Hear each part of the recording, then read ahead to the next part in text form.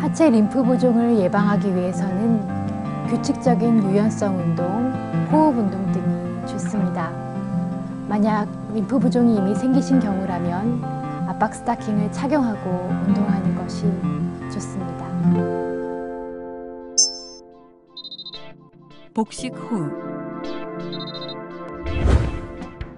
코로 숨을 들이마시며 배를 부풀려 줍니다. 이때 가슴은 가만히 두고 배가 움직이는 것을 느껴줍니다.